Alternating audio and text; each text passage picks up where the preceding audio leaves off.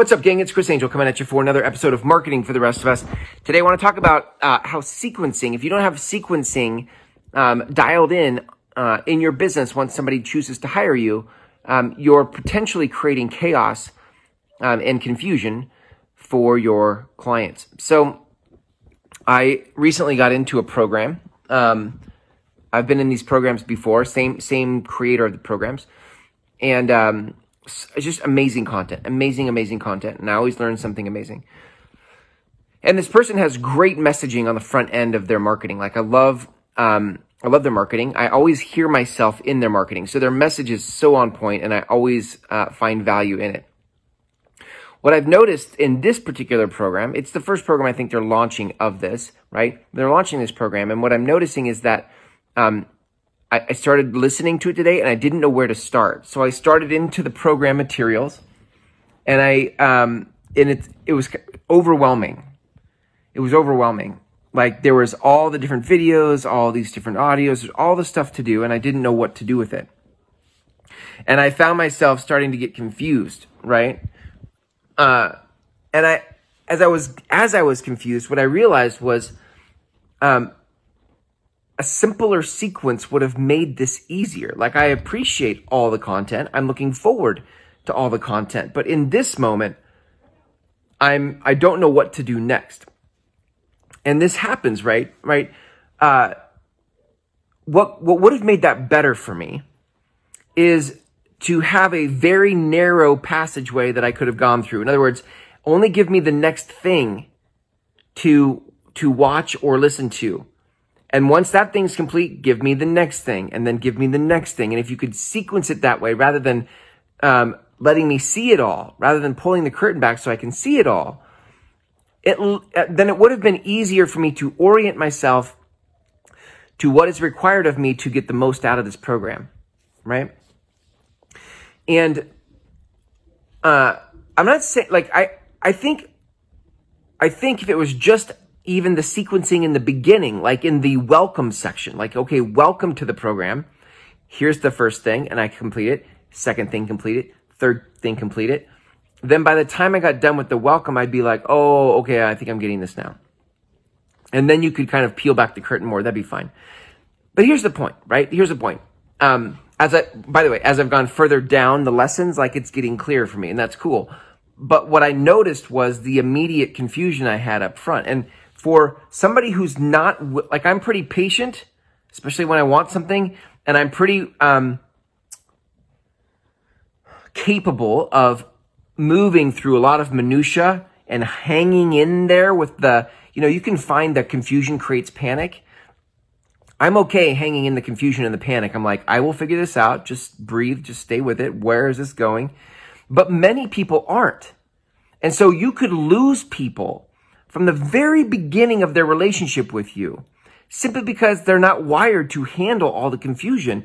And even if they stuck around, they might not produce the results that you want them to produce, that they want to produce. And so then you don't retain them as a client because nobody stays with you for long if results aren't produced. So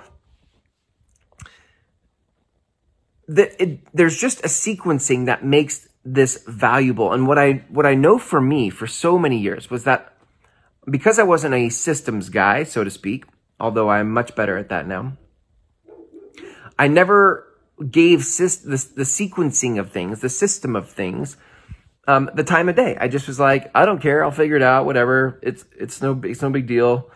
Um, it was just what, how naive, right? Like how, whatever. So there are people in your, uh, that if you were able to find your message, which by the way is the hardest part up front.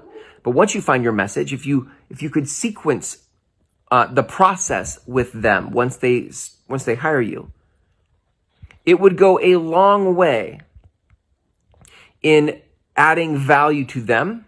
It's like that they would be so glad that they found you and and spent money on you, invested in you. And you would be so glad that you found them because they're producing results and giving you social proof for the services that you provide to the world. And, and some of that is just about having a sequence for them. First do this. Is it done? Okay, good. Now we're going to do this.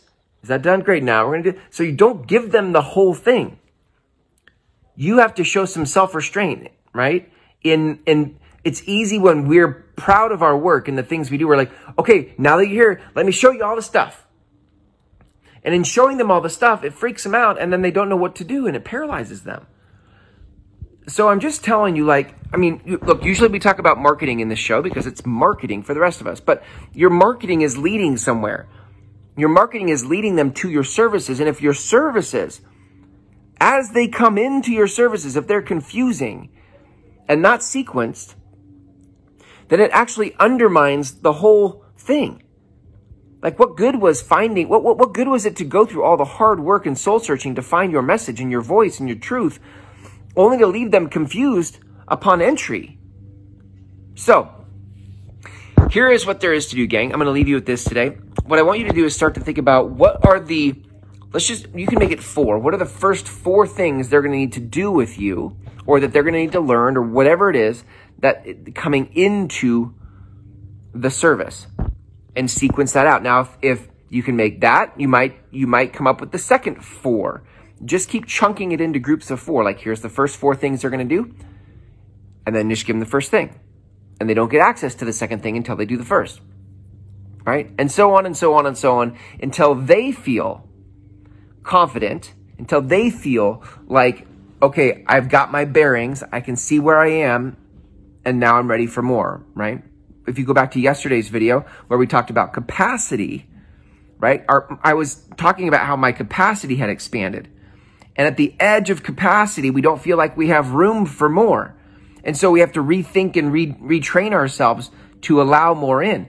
Well, if you just bombard people with, with, with information right out of the gate working with you, it can be really hard for, uh, they're, they're already at capacity. So you've got to um, ease them into it. Okay? So that, so that as they find their bearings, their capacity will expand. All right, gang, thanks for hanging out with me in this episode for marketing for the rest of us until tomorrow. Here's to you. Here's to you sequencing your services.